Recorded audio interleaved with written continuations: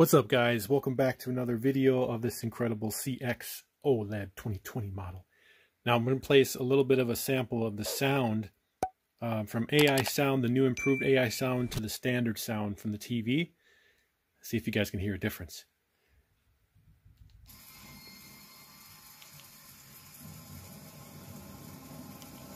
So right now we're in standard, standard basic mode. Let's go to AI sound.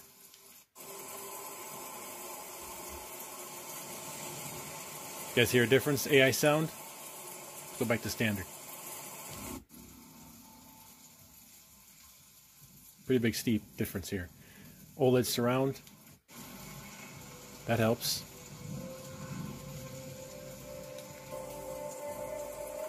AI Sound Pro just adds a, a whole, like, it, it widens the sound. It just widens it out a little bit more. So you hear more around you. Standard surround sounds nice, but it's more center focused.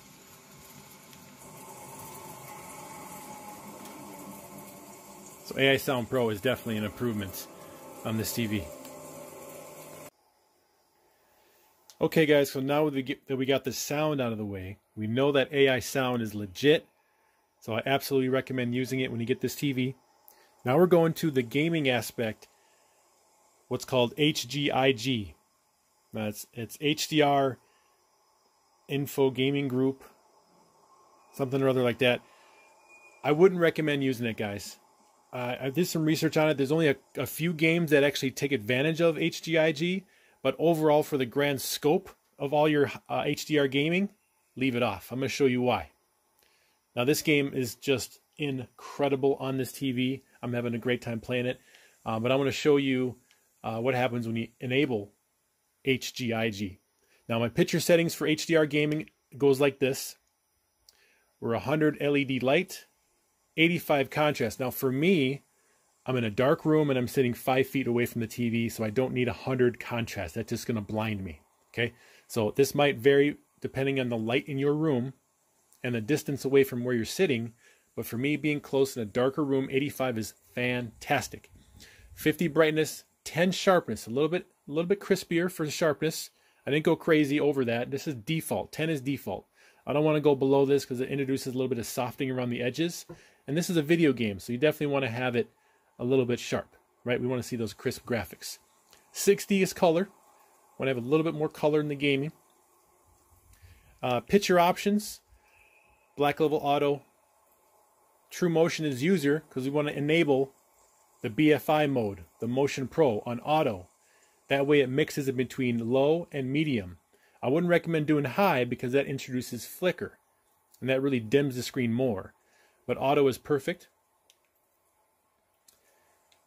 And now let's look at the HGIG. That's going to be under advanced controls. All right, um, white balance first. I'm going to show you this. I keep mine at warm one. I like to have a little bit warmer uh, setting. Now, Dynamic tone mapping. This is where you're going to find the HGIG. Right now we're in on. Now watch this. Boom. Right? It's going to dim the picture. Let's go back on. Boom. See? So on looks much better. Looks much better. I mean, maybe in the future when more games and more companies take advantage of HGIG, you want to use it. But for right now, guys, leave it just on. So we're good there. And there's my settings for HDR game. It's just uh, perfect for me. Absolutely perfect. This game and this TV, whew, let me tell you guys, you have a good time playing this one. Loving it. All right, guys, let me show you my SDR SDR settings.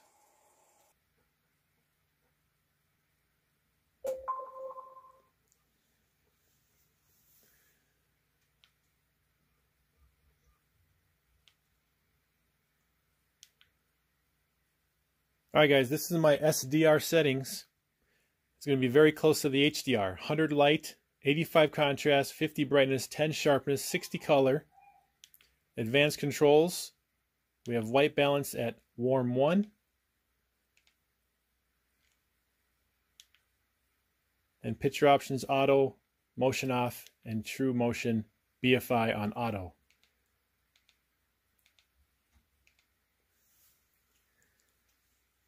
That's going to be my SDR. All right, guys. Hope this uh, video helps you out. Go ahead and use those settings, see what you think. The only thing I would recommend upgrading or changing is the contrast depending on the light in your room. All right, guys. Hope this helped you out. This is the AI sound video and my uh, game HDR and SDR game settings. All right, guys. You have a great day.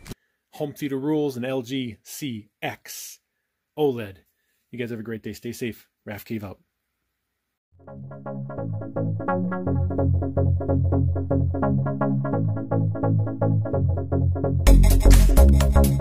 you.